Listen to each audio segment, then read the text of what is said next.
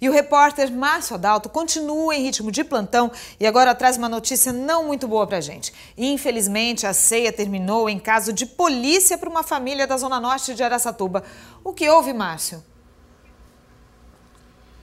André, bom dia para você, bom dia a todos que acompanham o SBT Interior. Esse caso aconteceu no bairro Paraíso, aqui em Araçatuba. A mãe reuniu os filhos para uma ceia de Natal e um dos filhos chegou mais tarde, já bastante alterado, pedindo dinheiro para a mãe. Como ele é viciado, todos sabiam que era para o consumo de bebida alcoólica e drogas. A mãe se recusou a entregar o dinheiro, foi quando a vítima, que é irmã, tentou ali é, separar a briga e acabou levando um soco no rosto. O rapaz foi preso em flagrante e espera aí audiência de custódia. Também aqui em Araçatuba, outra ceia que terminou de uma maneira bastante trágica, Andréia. Um casal discutiu é, durante a ceia, ele com 28 anos e a mulher com 21, e no meio da confusão, o marido esfaqueou a esposa gravemente, ela foi ferida